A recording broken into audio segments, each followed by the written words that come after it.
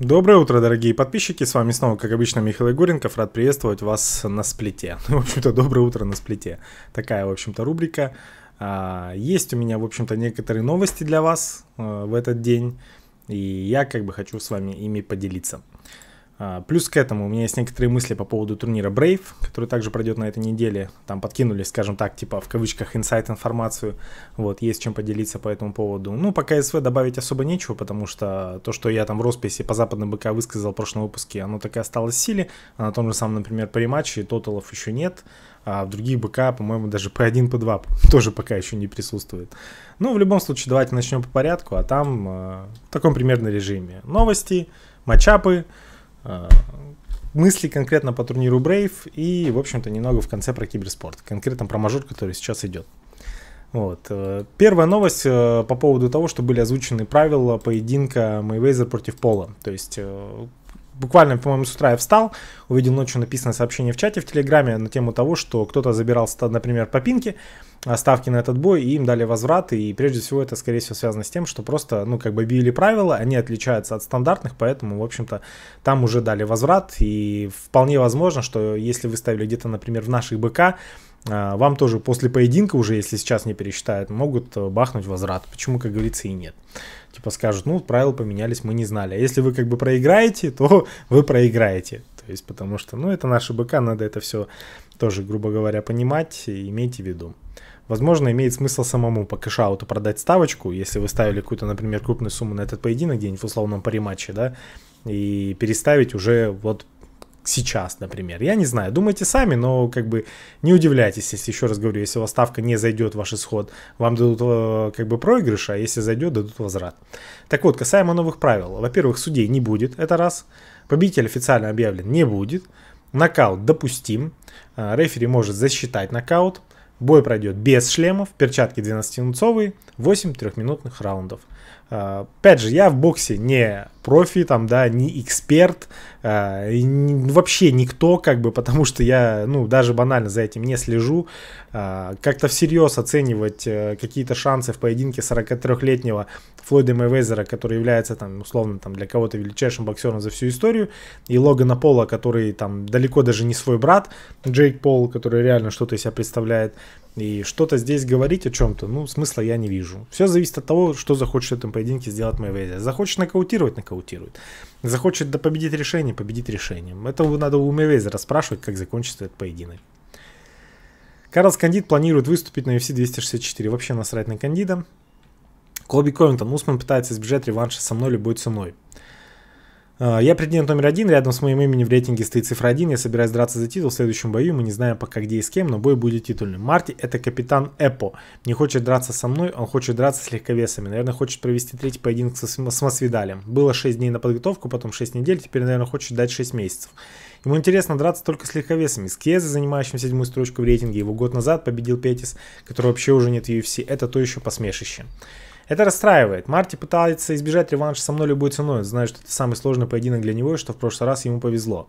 UFC придется заставить его драться со мной, просит сумасшедшую сумму за реванш и тем самым поганить свое наследие, потому что фанаты видят, какой он на самом деле. Он не хочет драться с настоящим претендентом, с первой строчкой рейтинга, с тем, напротив чего имени стоит единица, с парнем, который дал ему самый сложный поединок и который забрал у него несколько раундов. Я забрал как минимум 2-3 раунда до преждевременной остановки. Я был в сознании, поднимался, и он ударил меня по затылку. Не могу поверить, что никто не говорит об этом. Марти просто показывает фанатам, что он никакой не лучший полусредневес, никакой не величайший и не лучший боец pound for pound. Если бы он был таковым, то хотел бы подраться с парнем, с которым у него осталась куча нерешенных дел. Он не должен был одержать тогда победу, он не настоящий победитель. Выдумал фейковую историю, будто сломал мне челюсть, хотя это неправда, заявил Ковингтон. В целом, что хочу добавить. Вроде когда Навайт высказался на тему того, что действительно следующий бой Усмана должен быть против Ковингтона, это раз. Во-вторых, Ежу понятно, что из, на данный момент из всех бойцов, которые есть в этой весовой категории, Ковингтон самый опасный для него оппонент. И это не значит, что Усман не будет фаворитом с ним. Конечно, будет.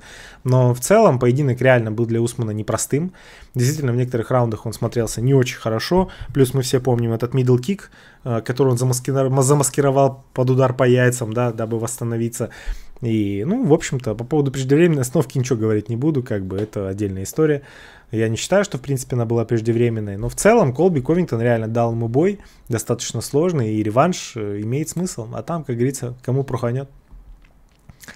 Винил Дариуш начинает кидать Оливере вызов, э, говоря, что тот задолжал ему бой. Я думаю, что Чарльз задолжал мне бой. Я подписался на поединок с ним на коротком уведомлении после победы над Хольцманом, когда планировал уйти в отпуск. Шон Шелби позвонил мне и сказал, «Эй, хочешь подраться с Чарльзом через 5 недель?» Я подумал и согласился.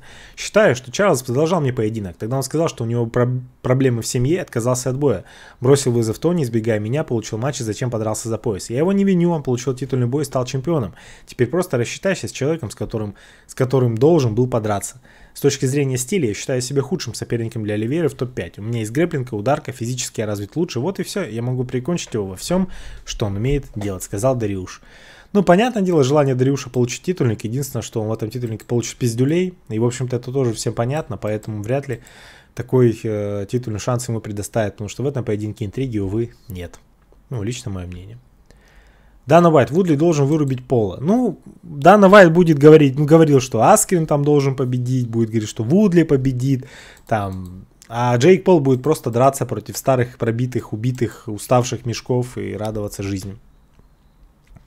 Юджин Брейман. Витори получил титульный бой благодаря Адесане. Ну, Южу понятно. Адесане хоть и не в своем весе, но проиграл бой. Ему нужно, скажем так, в глазах фанатов вернуться, одержать победу. И в этом поединке есть некая а предыстория, потому что один из судей наркоманов отдал почему-то победу Витори в том поединке, хотя он железно проиграл два раунда, да.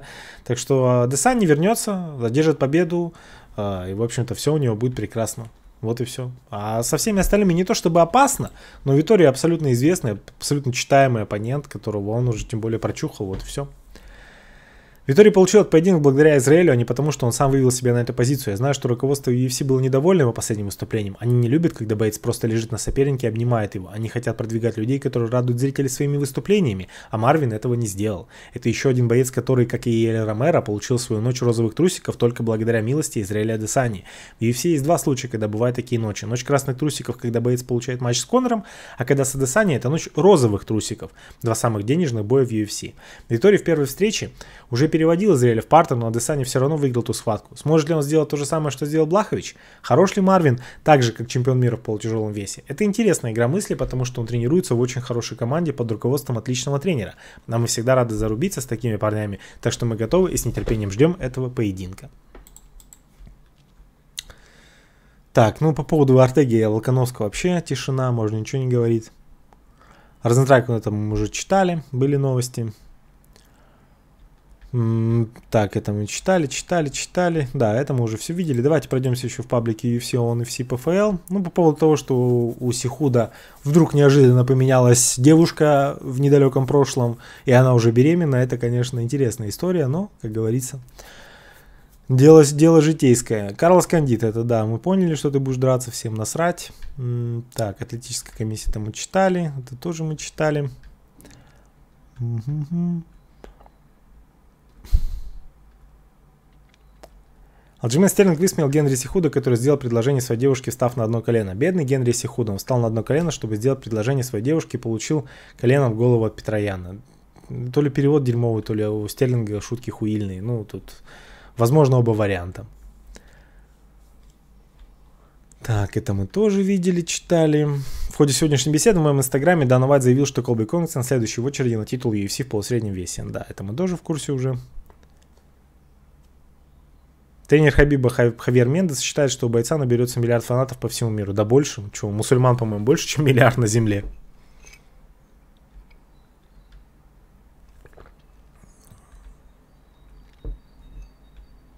Ну, по поводу Маурисио Руа тоже как-то высказывались по поводу. Ему завершать карьеру надо было два года назад, а лучше пять лет назад.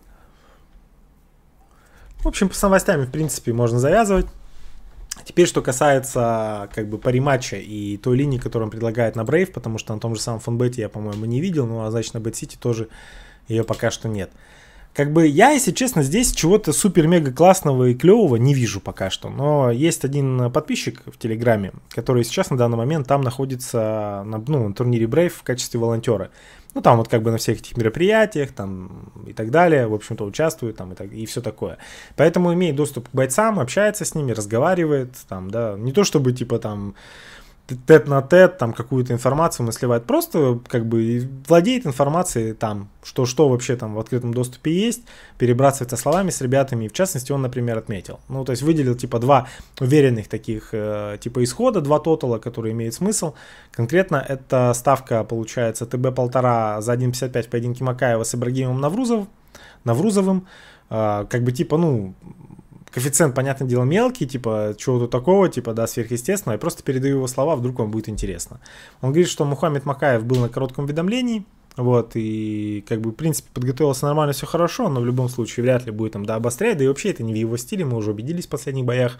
А Брагим Наврусов э, готовился хорошо, э, гонять начал заранее, подготовку, типа, прошел нормально, поэтому тоже, в общем-то, там, да, какие-то фейлы вроде как не должны переключиться, поэтому, скорее всего, поединок и вовсе дойдет до решения, и, в принципе, ТБ полтора должны за 1.55 пробивать. Вот, примерно так. Так, что касается Илиса Джируна и Сэма Петерсона, нет, это не тот, не тот. Вадим Куций, Данияр Абдибаев. А, собственно, Вадим Куций в этом поединке идет фаворитом за 1.15. На ТБ-05, то, что поединок зайдет во второй раунд, идет 1.5. И типа вот в разговоре Вадим Куций отметил, что как бы э, хочет в этом поединке именно, да, не обострять, э, поработать хорошо, то есть в плане там, да, без какого-то риска излишнего. Э, в принципе, там куда-то кидаться, бросаться не будет. И поработает, в общем-то, типа на очки, ну и как минимум во второй раунд заходить не должны. То есть, в принципе, настрой бойца такой, и это как бы подписчик передал. Так что вот, типа, а такой двойничок вырисовывается, типа ЖБшечный, там, кому интересно, можете забирать. Я, естественно, этого делать не буду, потому что на таких коэффициентах не играю. Но мне самому поэтому мини-карду пока добавить нечего, исходя из того, что предлагается в наших БК. Ничего интересного здесь такого херенного я не вижу. Ну а с тех коэффициентов, которые есть, типа а-ля Верниковый, вот эти два, типа самые такие, что ни на есть интересные. А так ждем тотал на КСВ, и от этого будем толкаться, соответственно, будем уже выбирать какие-то более стоящие варианты. Примерно так. Там какие-то новые матчапчики, даже замены произошли в турнире, который пройдет на этой неделе. А это тоже я хотел бы обсудить с вами вкратце. А, так, так, так. Это не то, это не то. Так, Ванесса Порта, Лара Джоан, конфеты на Белатор. А, получается, Марина Мороз выбыла, вот, и против Манон Фиорот будет драться Табата Ричи. Вот, э, хрен знает, что от этого matchup а, если честно, ждать. Будем ждать коэффициенты, там, как говорится, посмотрим. Ну, просто на Марину Мороз, как бы, на этот поединок, в принципе, можете уже больше не думать, э, потому что его, в принципе, не будет. Вот, примерно такой расклад. Ну и вчера поугорали по поводу как бы анонса поединка main event ACA 127, титульный бой против Хазбулаева Кишева из рейтингов ACA. То есть для тех, кто не в курсе, как бы есть бойцы с победной серии в этой весовой категории, там в топ-5 в том числе, да, даже фамилии сейчас называть не буду, а есть Кишев, который занимает десятую строчку, и почему-то именно он а, получает титульный шанс, чтобы подраться с Хазбулаевым. Как бы вот, собственно, такой издалека слышится небольшой хрест, треск чего-то там. Дальше, как говорится, делайте выводы сами. Вот. Э, ну и, в общем-то, все. Вкратце хотел бы еще пройтись по поводу э, этого, господи, мажора. Вчера прошел первый день, э, прошелся я по нему большим количеством ставок, результаты опубликовал за вчера. Как бы сегодня с утра встал, еще все матчи не посмотрел, надо еще пересмотреть некоторые моменты. И, в общем-то, что хотел бы отметить. Ну, где-то, да, понятное дело, совсем заплеты произошли, как у Invictus Gaming, например, в, поединке, в матче с Execration, да, показали совсем не тот уровень. И при этом тут же, соответственно, да, импровнули чуть больше ну, господи, скажем так, показали лучший результат э, в поединке, в матче с Нигмой, там, да, где забрали, и там, соответственно, встреча со счетом 2-0, но я пока не видел, каким образом. Вот, хочется посмотреть. Монако Гамбит, несмотря на то, что в группе там находится на дне сейчас в Wildcard, но смогли забрать карту у Секретов, были близки к тому, чтобы забрать карту у Нигмы. Там как бы вариантов было на самом деле масса. Или, если бы Дрим там на войде, э, скажем так, не залил три раза подряд, э, дважды поставил неправильно хрона, потом кинулся куда-то вперед, непонятно зачем. В принципе, могли и там катку затащить. Но, в принципе, уровень команд Wildcard сейчас уже понятен. Я, скажем так, выберу более как мне кажется, выверенные варианты на матче сегодня, сегодняшнего дня. Есть у меня некоторые мысли по этому поводу. Вот, э, разошлю их клиентам чуть позже. Ну и в любом случае, как бы, будем посмотреть. И я напоминаю, что на вайлдкарде мажор не кончается. Сегодня кончается, ну, как бы, типа, сегодня второй день вайлдкарда. Потом, возможно, будут тайбрейки тут же следом. А после этого, соответственно, будет групповой этап, а после группового этапа еще будет плей-офф, так что веселья у нас будет впереди еще достаточно много. За результатами следите в телеграм-канале, ставки на киберспорт, прогнозы публикуются только здесь, отчеты и все остальное. Вот. На этом, в общем-то, вроде бы и все. Я обещался еще вчера по поводу ТАФа высказать свое мнение, типа посмотрев эпизод. Но вчера я очень много уделил внимание прогулкам, свежему воздуху, каким-то делам, мажору. И до ТАФа так и не добрался. Поэтому боюсь, что смогу дать какие-то комментарии только завтра. Ну и, в общем-то, последняя заключительная часть. Это, как обычно, ответы какие-то на комментарии, если вдруг они есть под последним выпуском. И тут и какое-то количество присутствует. Ярослав Денисов э, написал, отличный новый формат с новостями ММА, спасибо Михаил. Да, в общем-то, не за что. Пробую новые какие-то моменты. Опять-таки, ваша обратная связь решает все. Будет такой контент, не будет такого контента. Мне просто удобно. Вот, например, есть по поводу Брейведа какие-то мысли, или про, например, по поводу КСВ, там, одна-две ставки. Ну, я же не буду отдельное видео на это записывать. Какой смысл? Тем более, если это не по бигмаркету, если это по линии наших БК, там, и так далее. Ну, это не заслуживает того, чтобы тратить на это отдельный выпуск. Так, э, Дмитрий Марков написал, формат очень крутой, на мой взгляд, востребованный аудитории канала и паблика. Спасибо, Миша. Не за что.